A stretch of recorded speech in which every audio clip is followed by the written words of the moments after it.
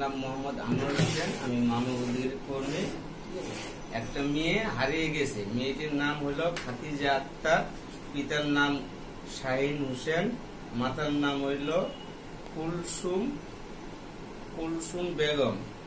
গ্রাম মিরপুর এক নম্বর, পোস্ট মিরপুর দুই নম্বর, থানা দারুসালাম, পালপাড়া ঘাট।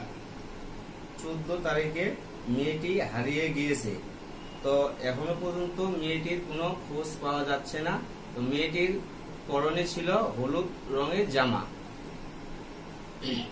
হলুদ রঙের জামা তো এখনও পর্যন্ত পাইতেছে না ঠিক আছে? যদি কোনো দয়াবান ব্যক্তি পেয়ে থাকেন তাহলে আমাদের এই ঠিকানা দেওয়া আছে। এই ঠিকানা অনুযায়ী আপনারা পৌঁছিয়ে দিবেন এবং আপনাদেরকে উপযুক্ত পুরস্কার দেওয়া হইব।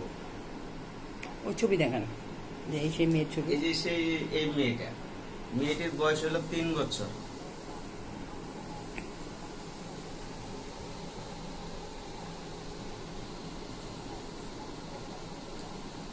জনগণের কাছে এবং প্রশাসনের কাছে সাহায্য যাচ্ছি এবং জনগণের কাছে এবং প্রশাসনের কাছে আমরা সহযোগিতা চাচ্ছি যেন তারা- তারা আমাদেরকে সহযোগিতা করে এই মেয়েটির খোঁজ নিয়ে এই ঠিকানা অনুযায়ী পৌঁছে দিতে পারে।